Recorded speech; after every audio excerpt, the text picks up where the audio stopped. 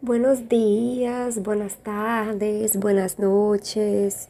Então, vamos empezar? Como sabemos, é, a aula passada, do, do vídeo aula passada não deu muito certo, né? Não sei qual foi o problema. Então, essa aula aqui vai ser a junção da primeira, da semana passada, e do conteúdo que é dessa semana aqui, tá bom? Então, vamos começar. Para relembrar que eu falei na aula passada, a gente estava comentando sobre materiais escolares. Então, o assunto desse mês se refere aos materiais escolares. Então, a gente vai conhecer como é livrinho, como é caderno, como é caneta, como lápis, todo tipo de material escolar que vocês utilizam no dia a dia tanto em casa e principalmente na escola, tá bom? Eu coloquei aqui os principais que a gente usa muito, né?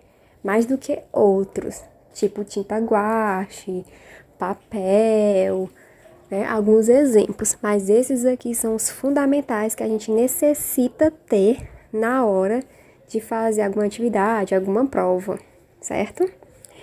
Então, Material escolar quer dizer material escolar ou pode ser dito também como útil escolar. Então tem duas formas. Ou é material ou é útil, tá bom? Escolar.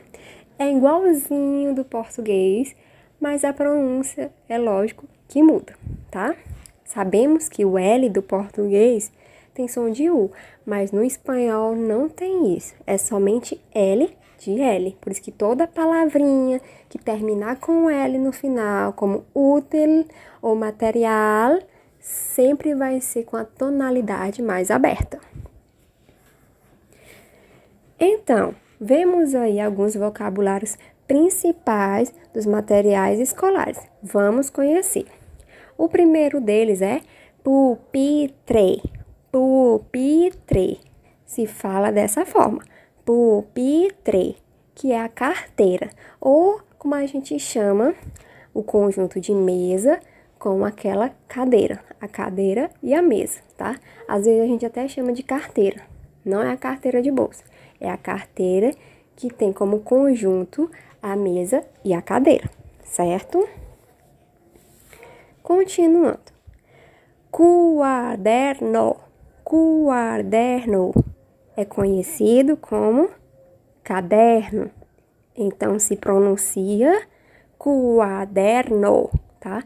O CU no português é como se fosse um dígrafo, né? A gente quase não, não pronuncia, né? Junto com QUE e GUE. No, no português não tem esse CU, tá? CU com alguma, com alguma vogal no caso aqui do CUA. Mas no espanhol não adianta, tá? No espanhol é diferente. Toda vez que o C for acompanhado com uma vogal, principalmente o U, ele vai sim, deve sim ser pronunciado. Por isso que toda vez que começar quadro, quarto, quaderno, eu preciso pronunciar os dois para ter os dois sons, tá? Então, novamente, vamos repetir. Quaderno, quaderno, não é quaderno não, é quaderno, tá?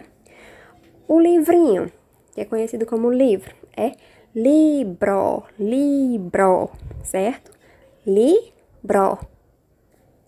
O professor, maestro, maestro isso no masculino. E se for uma professora? Maestra, com azinho no final. Então, maestro terminado com O se refere a professor masculino. Maestra terminado com A no final se refere a uma professora. Caneta, como é? Bolígrafo, bolígrafo bolígrafo, bolígrafo. Coleção é lápis de colores, lápis de colores.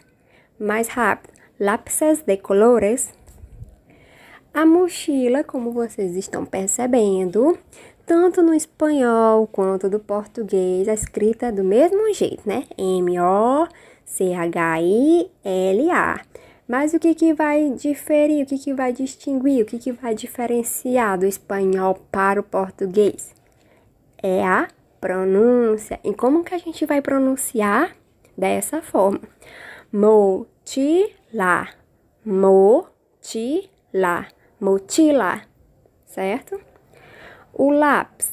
O lápis no português termina com S. No espanhol, eu vou tirar esse S e vou colocar um Z. Então, é lápis, lápis. O estojo é estuche, estuche. Forma normal, estuche, estuche, certo? A borracha é goma, goma, goma, goma. O apontador é sacapuntas. Novamente, sacapuntas, sacapuntas, certo? Outra coisa que a gente vai ver agora é colores o que são colores? São as cores, como vocês podem ver aí. O azul, o verde, o marrom, o vermelho, o amarelo, o cinza, o roxo, o preto e o branco. Que são as cores mais tradicionais que a gente usa, né? Mas sabemos que existem outros tipos de cores. Só que a gente vai focar nesses aqui, tá bom? Mas Tia, professora, o que, que, cores tem a ver com os materiais escolares?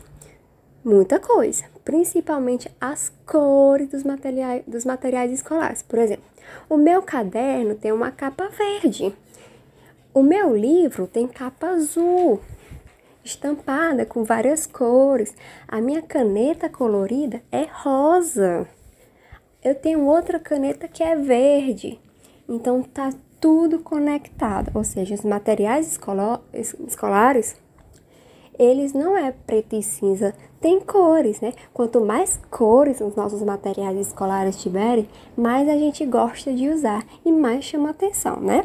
Então é isso que a gente vai ver agora. A gente vai relembrar as cores, tá bom?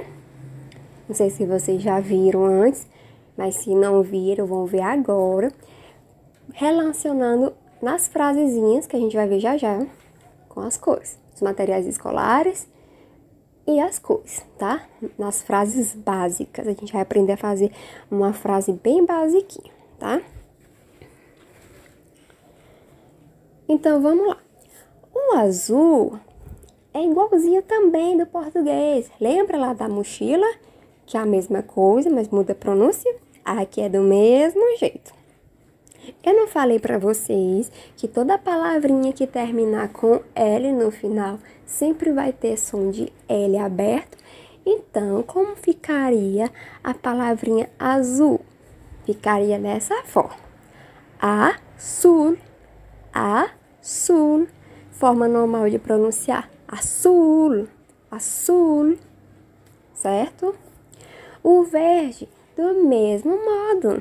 Vamos lá, ó verde, verde, verde, verde, verde, verde.